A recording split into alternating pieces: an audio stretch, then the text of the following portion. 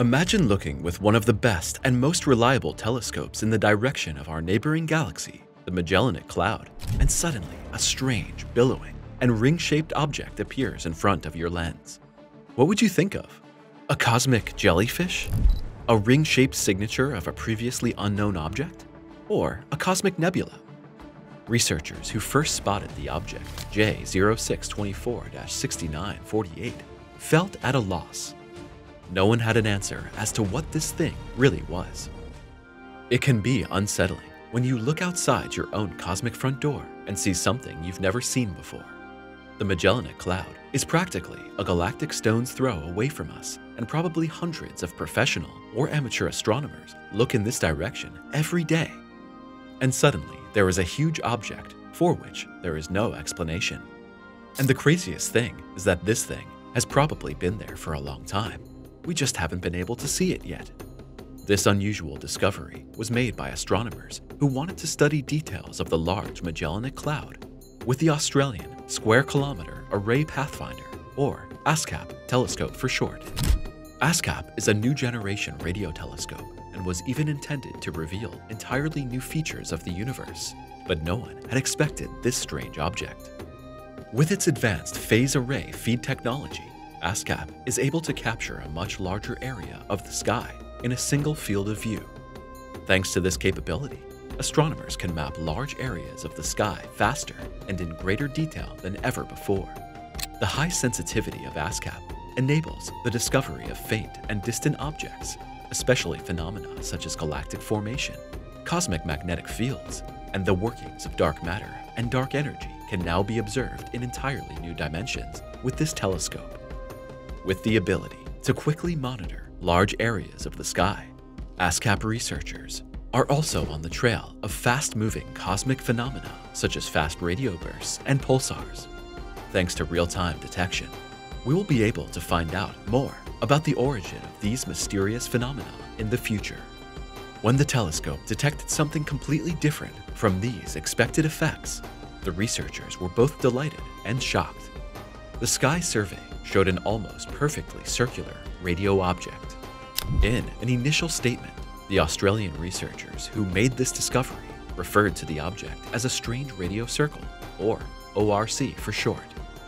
However, after further and more intensive observations, it soon became clear that J0624-6948 must be something completely different. So far, only five ORCs have been discovered in space, and the J0624-6948 ring was clearly different from these discoveries at second glance. What are ORCs?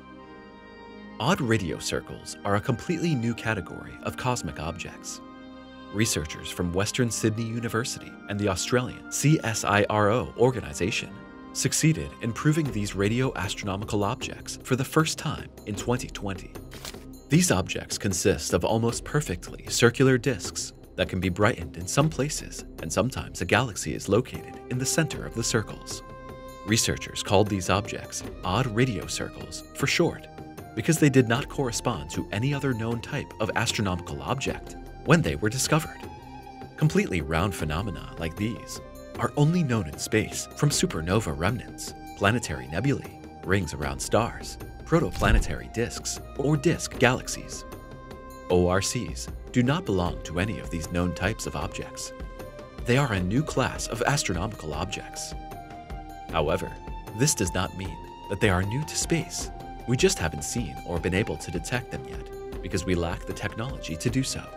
ORCs 1, 2, and 3 appeared in images from a sky continuum survey, also conducted with the ASKAP telescope. Another circular radio source was discovered in archival images of the galaxy cluster Abell 2142 and was named ORC-4.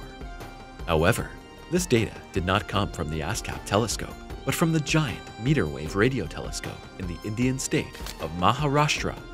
With its 30 parabolic antennas, each measuring 45 meters in diameter, the GMRT can receive radio waves in the range from 30 megahertz to 1.5 gigahertz.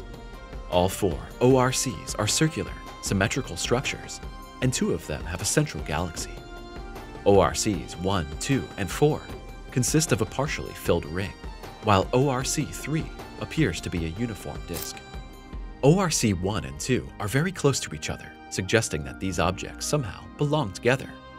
ORC-4 is 4.2 billion light-years away from its central galaxy and is itself 1.1 by 0.9 million light-years in size. So these objects are gigantic, and again, nobody knows exactly what they are yet. Some evidence suggests that ORCs are in fact spherical, and this in turn could indicate a spherical wave from a transient event. Such transient events are phenomena such as fast radio bursts, gamma ray bursts, and neutron star mergers. The Australian scientists emphasize that ORCs could also belong to jets of radio galaxies or blazars, but this is not yet certain. Further studies are needed, and the researchers are sure that there are many more of these objects. The more of them we find, the better we can determine what ORCs really are and where they come from. An intergalactic supernova? Let's go back to object J0624-6948 which was detected in the vicinity of the Large Magellanic Cloud. If this object is not an ORC, then what is it? The most intriguing explanation is actually that this object is the remnant of an intergalactic supernova. It's possible that a star exploded at the outermost edge of the Magellanic Cloud, leaving behind this round radio object. A radio object is an astronomical object that emits significant amounts of radio radiation. It's therefore usually less material in nature but consists mainly of radiation. The assumption that this particular radio object is the remnant of a Type 1a supernova is particularly intriguing. A Type 1a supernova occurs when a white dwarf in a binary star system attracts and absorbs matter from a companion star and then exceeds its critical mass, resulting in a thermonuclear explosion. This explosion could have created the observed ring-shaped radio remnant at the edge of the Magellanic Cloud by ejecting a shockwave and material into the surrounding interstellar space. Or a super flare after all? The theory of the interstellar supernova is not yet completely certain. The research team has another exciting explanation. For example, this object could be a remnant of superflare activity from a nearby star in our Milky Way. A superflare is an extremely powerful outburst that emanates from a star. These flares are many times more intense than the strongest flares we know from our sun. These powerful eruptions can release an enormous amount of energy in a short period of time and are often accompanied by intense emission of X-rays and other high-energy particles. Super flares typically occur on stars that are magnetically very active. Since the mysterious ring-shaped object near the Magellanic Cloud is not that far away from our Milky Way, the theory that it's the remnant of superflare activity could well be correct. This outburst could have ejected a strong shock wave and high-energy particles into the surrounding space, which could indeed lead to a ring-shaped radio remnant. However, this hypothesis would also mean that the star from which the flare originated is relatively close to our own solar system, possibly only a few hundred light years away. This naturally raises the question of whether such a flare could be dangerous for us. But here, the experts give the all clear. A few hundred light years away still far enough, and our Earth has its own protective shield against flares. This means that our planet reliably blocks even the comparatively weaker flares from the Sun and protects life on its surface. Fast radio bursts. Natural or technological? When we look at the most exciting radio objects in space, the fast radio bursts, or FRBs for short, are not to be missed. These phenomena have also only been observed relatively recently.